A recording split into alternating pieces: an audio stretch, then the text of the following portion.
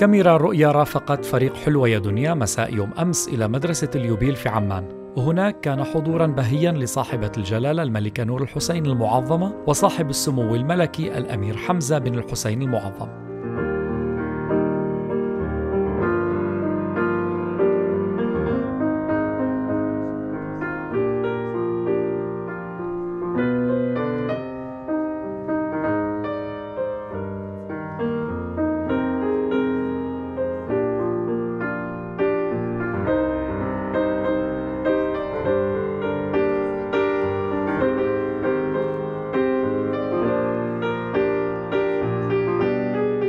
المناسبة كانت لمرور عشرين عام لتأسيس المدرسة. إحدى رؤى الملك الراحل الحسين بن طلال طيب الله ثراه بحضور مجلس أمناء مؤسسة الملك الحسين ومجلس معهد اليوبيل والطلبة.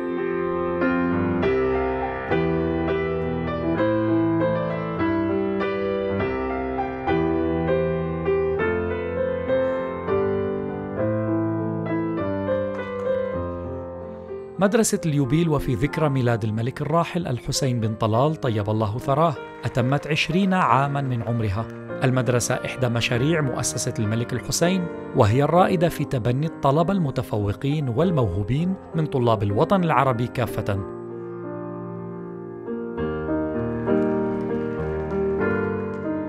في جلسات حوارية تشارك بها بعضا من الطلبة الخريجين للمدرسة حول تجربتهم السابقة لأسلوب اليوبيل التعليمي والنوعي وتحدثوا عن نجاحهم العملي والريادي الذي تكلل بفضل تميز نظام المدرسة وفكرها التعليمي.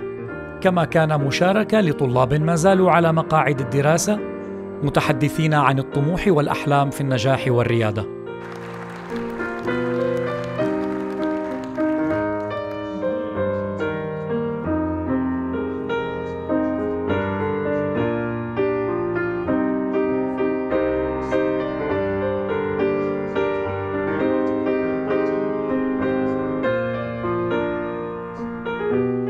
سمو الأمير حمزة وفي كلمة له لخريجي المدرسة دعاهم فيها للمساهمة في دعم مدرسة اليوبيل وفكرها كما والتواصل المستمر معها ومع طلبتها.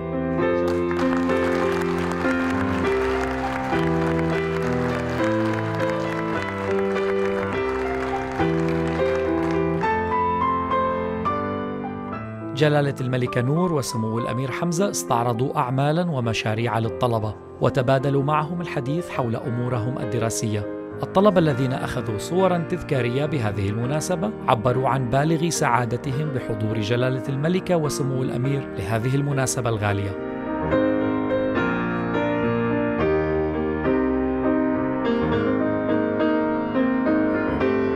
يبقى الحسين الراحل في ذاكرة كل الأردنيين في قلوبهم لأجيال وأجيال. رحم الله الحسين ودوام التقدم والنجاح لمدرسة اليوبيل.